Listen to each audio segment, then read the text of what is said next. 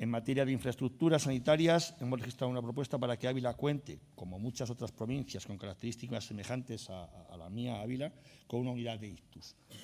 Eh, fue precisamente el señor Mañueco el que habló de equidad territorial en materia sanitaria y de acercar los servicios a los ciudadanos al lugar en el que se encuentren. Sí que contamos en Ávila con, con el código ictus y el teleictus, pero seguimos dependiendo en casi todas las ocasiones de un traslado urgente al hospital de referencia, con lo cual, señorías, esa equidad territorial pues no se da en mi provincia.